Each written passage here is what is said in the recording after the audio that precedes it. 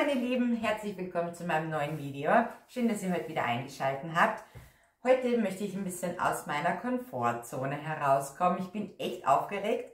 Ich möchte gar nicht zu viel verraten, aber es wird auf jeden Fall farbenfroh. Starten wir direkt rein ins Video. Okay, ihr Lieben, ich habe tolle Farben vorbereitet. Wir arbeiten heute mit den Farben von Amsterdam. Ich habe hier ein Gold und ein Kupfer. Ich möchte jetzt mal ein kleines Paddel in der Mitte schaffen. In meinem Kopf habe ich ein Bild. Mal schauen, ob wir das so umsetzen können.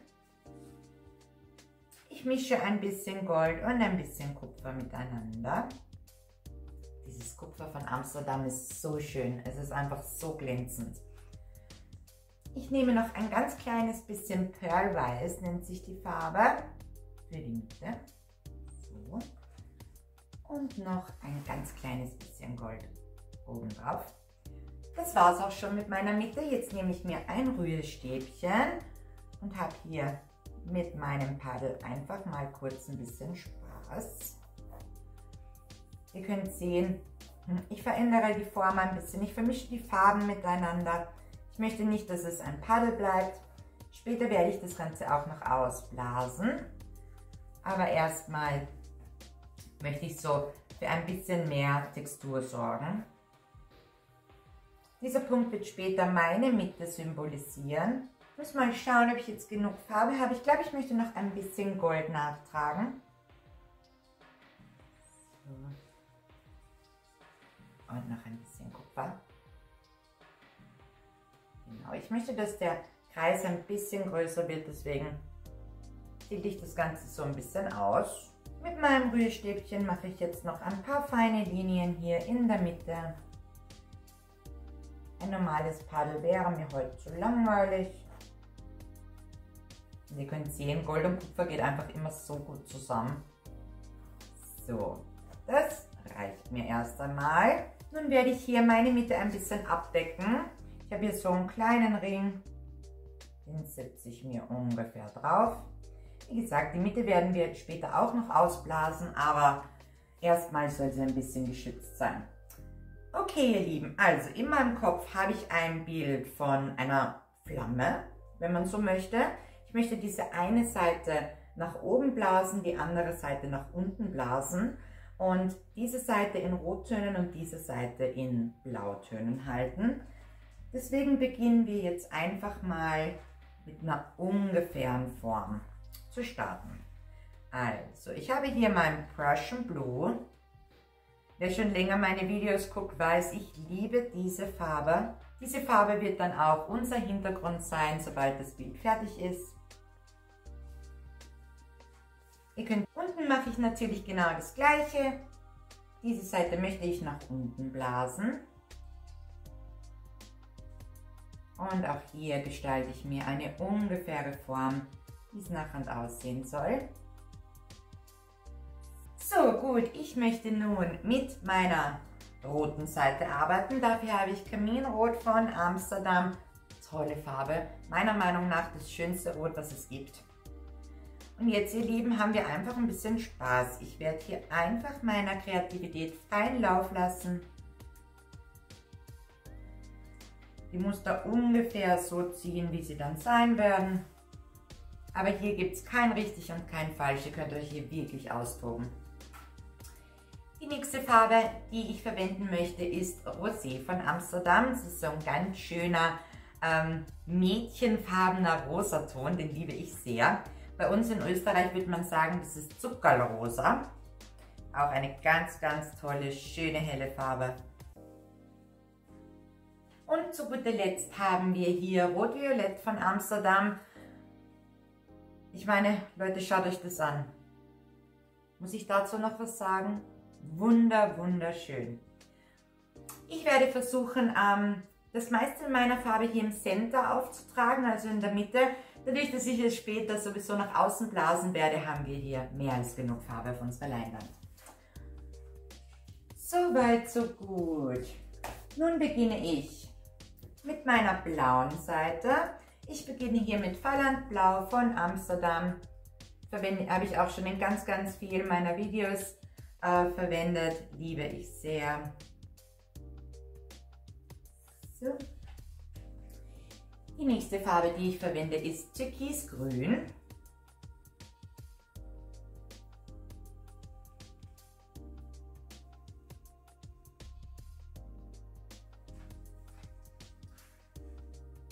Und zu guter Letzt verwenden wir Himmelblau von Amsterdam. Schöne hellblaue Farbe. Es gibt unserem ganzen Bild dann gleich noch ein bisschen einen helleren Kontrast. So. Jawohl. Nun habe ich noch Perlweiß vorbereitet. Das werde ich auch nur ganz leicht nutzen auf beiden Seiten. Für ein paar Schatten ist gut möglich, dass wir später noch ein bisschen mehr Farbe nachtragen. Ja, tatsächlich, ähm, obwohl so viel auf unserer Leinwand ist, ähm, werde ich heute nicht sparen. Gut, nun, ihr Lieben, möchte ich später unsere Mitte natürlich verbinden mit unseren Farben. Dementsprechend werde ich noch ein ganz kleines bisschen Gold und ein ganz kleines bisschen Kupfer auf beiden Seiten auftragen. Kann auch sein, dass ich das später noch ein bisschen nachtragen werde. Das lasse ich mir aber offen. So. Und Kupfer auch noch.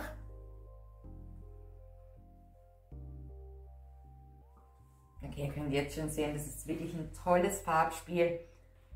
Schreibt mir gerne mal in die Kommentare, welche Seite euch besser gefällt.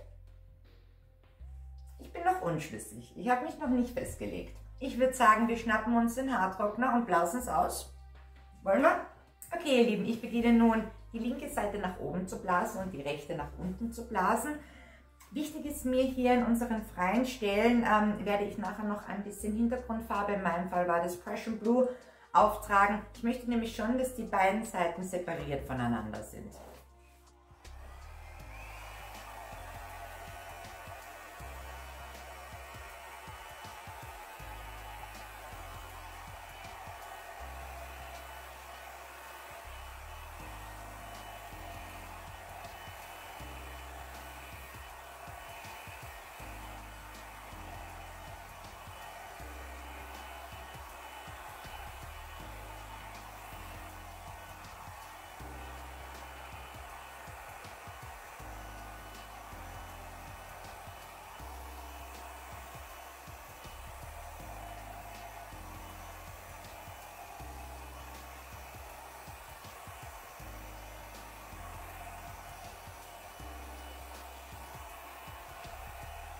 Okay, ihr Lieben, so habe ich mir das vorgestellt. Ihr könnt schon sehen, ähm, wie schön die Farben miteinander gehen, obwohl es zwei ganz verschiedene Farbfamilien sind. Ich werde jetzt einmal noch kurz mit dem Brenner drüber gehen, weil ich sehe, ich habe hier ganz, ganz, ganz viele Luftbläschen in meiner Farbe.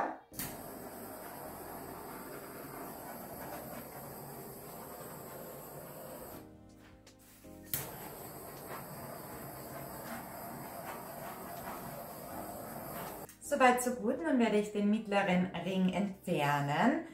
Ich möchte nicht, dass es ein Ring bleibt, sondern ich möchte schon, dass die goldene Farbe dann in unsere beiden Seiten, in unsere beiden Flügel ähm, austreten darf. So, ich drehe meinen Kreis, bevor ich ihn abhebe. Und vorsichtig, jawohl. Jetzt möchte ich versuchen, die Mitte noch ein bisschen mehr auszublasen. In meinem Kopf ähm, verbindet sich das Gold und Kupfer mit unseren beiden farbigen Seiten. Wünscht mir Glück, ich versuch's.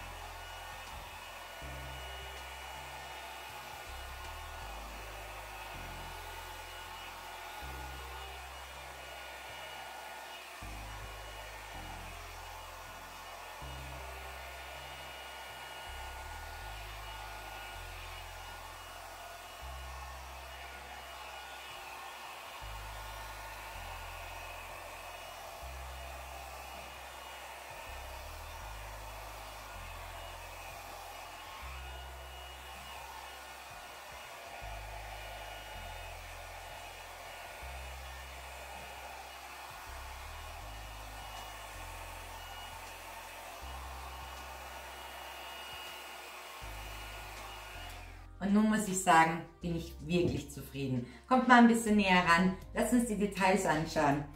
Ich fange hier bei der rechten blauen Seite an. Ich meine, schaut mal, wie schön die Bloomings zusammengehen. Blautöne gehen meiner Meinung nach wirklich immer. Unser Gold zieht sich nach außen auf beiden Seiten. Das ist es, was ich heute schaffen wollte. Ich finde, die Mitte sieht aus wie eine kräftige Sonne. Und auch hier unsere rot-rosa Seite, das Kaminrot, das Pink, das Violett, alles geht gut zusammen. Also die Farben harmonieren perfekt.